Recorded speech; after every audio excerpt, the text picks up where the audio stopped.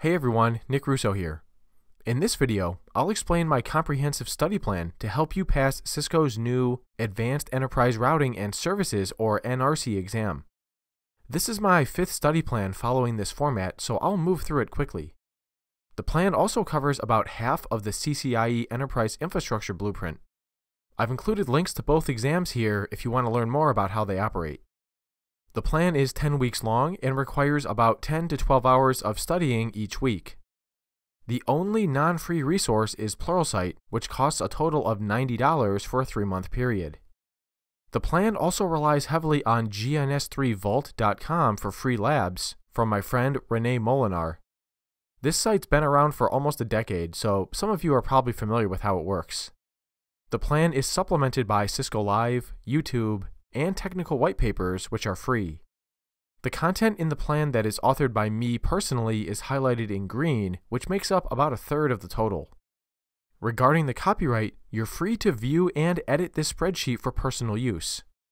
I only ask that you don't distribute it. Just direct people to my site instead so that they can download the newest copy. At the bottom, there's a tab called 10 Week, which has the actual study plan. Let's click on that. My ENARSI focused Pluralsight learning path has seven total courses, which are sliced up across this plan. The first week begins with EIGRP, covering core topics like summarization, variance, and stubs. In general, the video content comes first, followed by several relevant labs on gns3vault.com. You'll see this pattern repeated throughout the entire plan. Then we discuss BGP, focusing on the fundamentals of forming neighbors and working with common policy attributes like local preference. The labs almost always relate directly to the Pluralsight content. Sometimes I'll add in some extra labs to augment what's in the Pluralsight course, giving you a, a bit of extra experience. Also notice columns E and F, which map each study item to the blueprint topics for both ENARSI and CCIE Enterprise Infrastructure exams. You can use these columns to track your progress if you like. Week 2 covers DMVPN and IP-based tunneling in general, along with VRF Lite. Once those overlays are built, my course discusses some advanced EIGRP features which are reinforced by the following labs. Each one of my courses covers a handful of IP services. The first course covers access lists, AAA, radius, control plane policing, and more. Week 2 ends with some labs on those topics. In week 3, you'll finish up the IP services from the previous week by focusing on DHCP features. The final module of each advanced routing course covers IPv6. The content basically mirrors the IPv4 topics earlier in the course. In this case, that includes a heavy focus on IPv6 EIGRP and BGP, followed by some practice labs. Week 4 starts a new course, focusing on large enterprise and small service provider networks since both use a similar set of technologies. This course focuses on OSPF core topics like network types, area border router functionality, and the DR election. Next, we cover redistribution and various ways of preventing routing loops in suboptimal routing. The first course focused on traditional enterprise internet access, but this course focuses on upstream transit connectivity. This introduces some new BGP policy attributes along with route aggregation. In week 5, you'll learn about MPLS Layer 3 VPNs and the underlying transport technologies needed to make it work. This includes LDP in the core and BGP as a PE to CE routing protocol. Next comes IPSLA, both for measuring performance and as a routing mechanism via tracked objects. The week ends with more enterprise services like SNMP, TACACS, and NetFlow, along with the standard IPv6 variants of all topics covered earlier in the course. I've also included several of my technical white papers here, which will help you understand how these advanced routing features can be employed in real-life scenarios.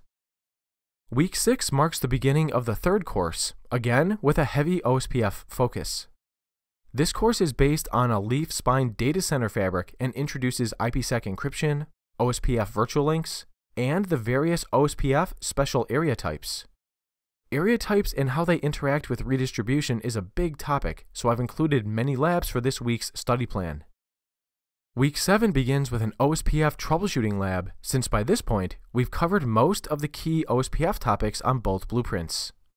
We shift focus to iBGP route reflection and how that helps networks scale, along with file transfer related services. This also includes various logging and security features such as syslog and time-based ACLs. The week ends with the course's IPv6 module and another technical white paper which focuses on BGP traffic engineering using iBGP for leaf spine networks. IPv6 is the sole focus for week 8. First, you'll watch my entire course on securely transitioning enterprises to IPv6, then try some labs to reinforce what you learned. To see how these technologies are applied in real life, I've included two technical white papers. One covers a high-scale WAN design using 6RD and GetVPN. The other covers DHCP v6 prefix delegation combined with DMVPN over wireless networks for secure mobile access.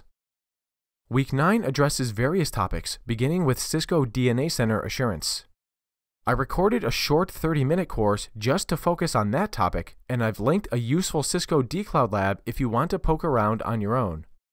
Next, you'll spend a few hours on QoS fundamentals like classification, marking, queuing, and traffic conditioning. Last, I suggest you watch two Cisco live sessions on OSPF, both of which were authored by me. One focuses on OSPF design and deployment techniques, including various optimizations for the protocol. The other focuses on advanced graph-based troubleshooting by exploring the link state database. To augment the troubleshooting session, I recorded a short YouTube video that repeats my graph tracing method using OSPF v3 for IPv6 routing. Week 10 is review. Just watch the four advanced routing courses back to back for a second time. You'll be surprised how many important details you missed on the first pass, and this will prepare you for the ENARSI exam should you decide to take it. All the training is done at this point. As a bonus for watching my courses, you get a free 20 ticket troubleshooting lab. Click this link to learn more about how to obtain the lab, which I'll describe in a future video. I've included solutions as well, so if you can't solve a ticket, you can check the solution to continue with the lab. I made it quite difficult on purpose, and if you can completely solve even half the tickets, you're doing well. I have two final points before we wrap up. First, there are many other resources that you can use to study for these exams. There are textbooks from Cisco Press, there are other Cisco Live courses, and there are other courses by other trainers. I chose the resources that I did because this is the lowest cost, most comprehensive plan I could come up with. If you want to add in some other resources to your studies, you absolutely can. Second, this plan will be updated a lot. As I discover new labs or new white papers or new Cisco Live sessions that I think are particularly helpful, I may add them in. Be sure to check back every few weeks for updates if you're in the middle of studying to make sure that you have the latest and greatest. You can find a link to this spreadsheet in the video description, so be sure to download this to get started. Thanks everyone, and have a great day.